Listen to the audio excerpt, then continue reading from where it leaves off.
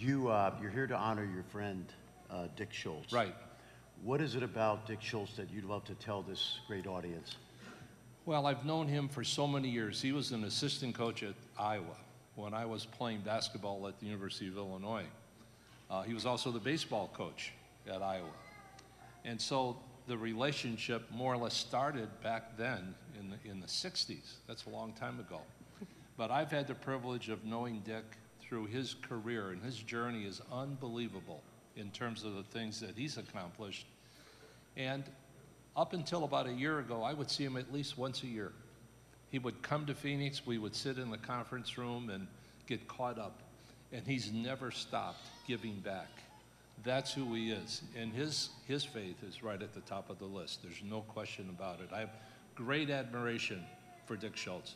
And I, I, love, I love that because while you're continuing to uplift young men in this sport, you're also, I mean, it's beautiful how you always honor those who came before you, before so many of us, and that's what Dick Schultz is. He, Yes. He's a true legend um, as a coach, a teacher, and administrator. Let's take a look at this video and meet him a little more.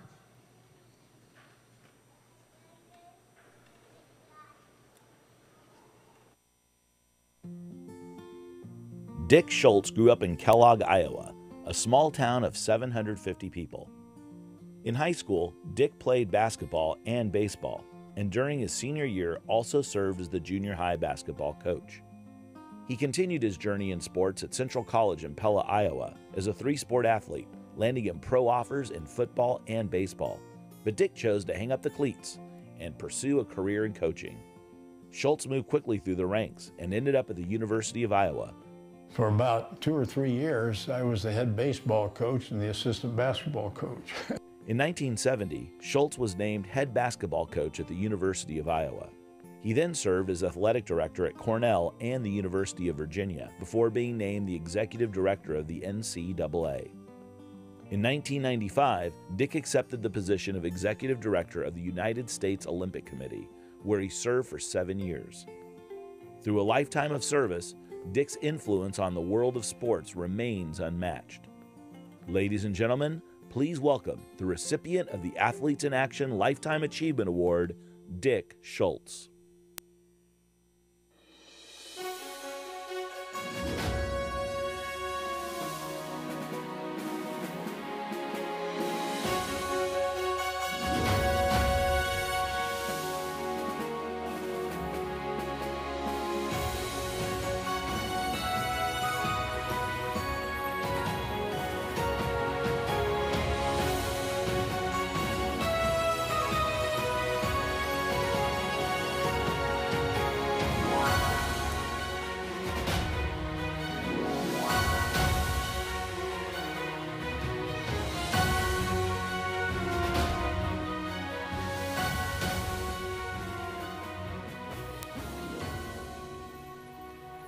Thank you. Thank you, thank Thank you, you. thank you. So And nice to have you here. we Mr. have some Schultz. chairs? Um, Uh, Jerry, by the way, before you take off, I would like, I, I want to make sure Dick hears this. He has had a special influence specifically on you, on, on your life. Can, can you share that for everybody to hear? Well, when you have a relationship with a man who's done all that he's done, and I've been one who kind of follow in footsteps, not in everything he's done, but in many, many ways. Uh, he's been a great mentor for me. And he's given me a lot of advice along the way. And I really appreciate him very much. My pleasure. Kind soul. Thank you. Thank you, thank you, Jerry. We'd love to have you try to sit, Mr. Schultz. Is this? I can do that. These are kind of fancy. Yeah. I Got you. it? Yeah. Got it? Oh, I'm fine. Okay. There we go. Sorry about, sorry about that. Thank you, thank you. You know, when, when we were reading your, you're just going to be stuck with us for the rest of the day. Just don't move. Just hang with us now. Now that you're up in there comfortably. Um, to me, your story is so incredible. And you, he had a chance to play baseball, right? A hundred, well, see, I won't even say a hundred because you had a chance to play baseball, to do many other things, but you chose to coach. You chose to teach. You chose to want to make a difference in the lives of, of young kids immediately instead of pursuing an athletic career for yourself? Why? Well, you know, the, the Lord shapes our lives uh, with personality characteristics, uh, experiences, training uh, to use for His purposes. And we have no idea what's ahead of us. And that's been kind of the story of my life. You know, I had the only thing I wanted to do when I graduated from high school was to be a basketball coach. And the reason for that was that uh, I grew up in a small town, and my senior year in high school, our superintendent asked me, he said, We would like to have a junior high basketball team, but we can't afford to hire a coach. Would you be willing to come in at 7 in the morning and work with the junior high kids? And I said, Sure. And I just loved it. And I said, I want to be a basketball coach. And that was what I did for the first 25 years of my life, and I focused on that. You, um, you have an interesting story about John Wooden that uh, we would love for you to share with us. Well, John and I were, were very good friends, and uh, we spent a lot of time together as coaches and a lot of times together afterwards. And my first year at the NCAA was the 50th anniversary of the Final Four. And a lot of work had been done before I got there. And since the original game was in Kansas City, uh, the 50th anniversary was going to be there as well. And one day, uh, two of my staff people that had the responsibility for putting the program together came and said, You know, Dick, we've got a real problem. Uh, we can't get John Wooden to agree to come to the Final Four. And obviously, with the impact that John and UCLA had on the Final Four, if he wasn't there, the program was going to be pretty flat. So I said, Well, uh, let me give him a call. And John's story is an interesting one because he and his wife, Nell, were very close. Nell traveled with all the games, and they had this little signal they'd, they'd switch, uh, change just, uh, just before tip off. John always knew where Nell was at in the stadium, and they would do that. And uh, after Nell died, he just could not bring himself to come to a Final Four. So I said, All right, I'll give John a call. And John and I visited about it, and he said, Dick, you know as well as anybody the situation. I said, John, I know that, but we've got to have you here. I'll send a private plane to pick you up. The program's going to be at the Hyatt Regency, which is 45 minutes away from the arena. You won't even have to be close to it. We'll do the program. I'll fly you home the next morning. Because if you're not there, it's going to be a bust.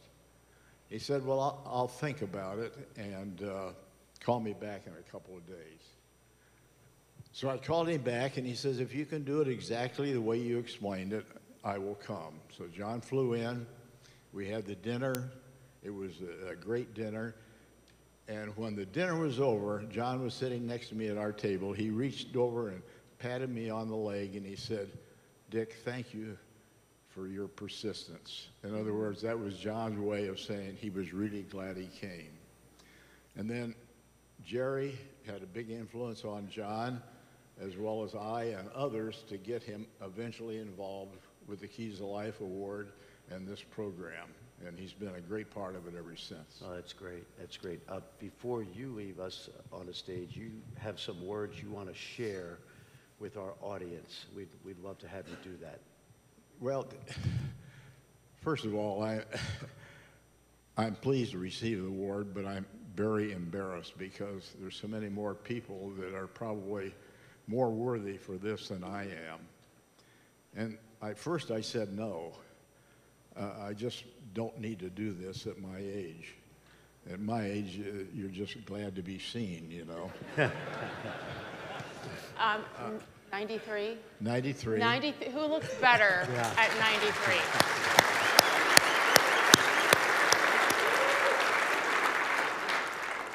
And of course, one of the reasons I made it to 93 is my wife, who's been a partner in all this. Jackie and I have been married for 73 years, 74 in June. She's right over here. Oh, yeah.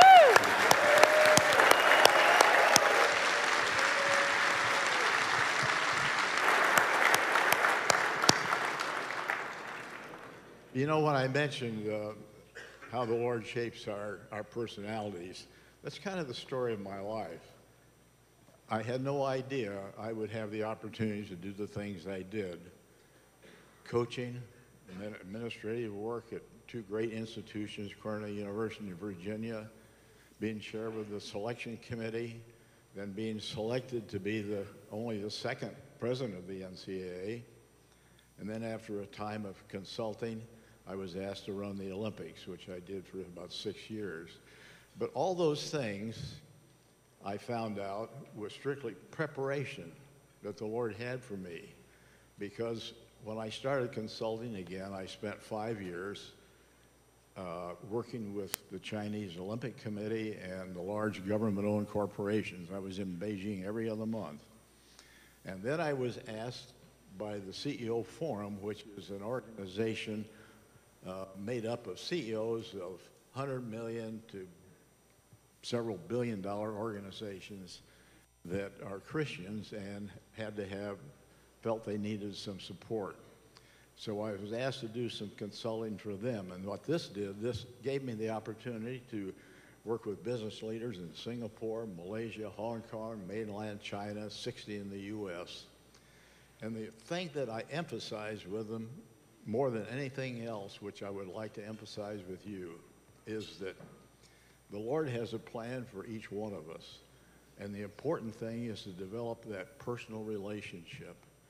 And I would ask CEOs, do you spend time with the Lord in the morning before you go to work? And most of them would say, you know, my, my schedule is so busy, I just don't have time.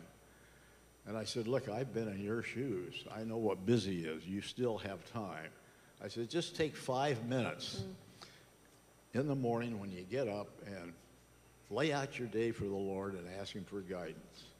And then I would usually meet with them about every three months. And when I would come back, I didn't have to ask them. They volunteered. They said the five minutes is now 15, 20, maybe 30 minutes. I find I'm making better decisions. I have a better relationship with the staff and my family. And I actually have some time to think about the big picture issues of our company and to spend time with my family. You know, it's time, if you're not there yet, to get into this great race of faith. Don't be a spectator in the grandstand. Get down the track and start running and run as hard as you can because I'll tell you why. We're running for our lives. Thank. Beautiful, beautiful. Thank you.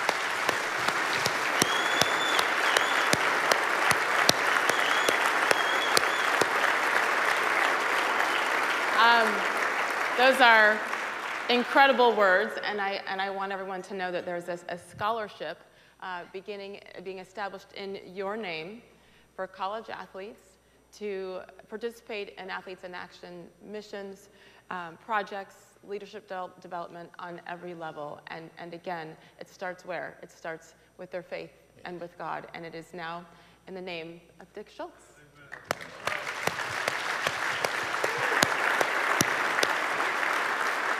Ladies and gentlemen, ladies and gentlemen, Mr. Dick Schultz. Thank you, Thank you, Dick. so much.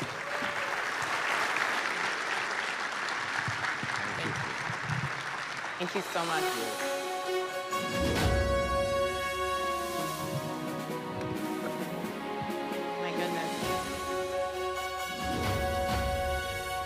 73 years? Is that what it is? Wow. Wow. Have you written a book yet? Can you please write, write a book? It'll sell. That is, that is beautiful. What a Yes. beautiful family. Yeah, yeah, and a great man, and did as much to develop the modern uh, NCAA basketball tournament as anybody. Brought it into the modern era. So we we thank him for all of the things he's accomplished, Mm-hmm. and his words uh, this morning were powerful and impactful. So, Amazing.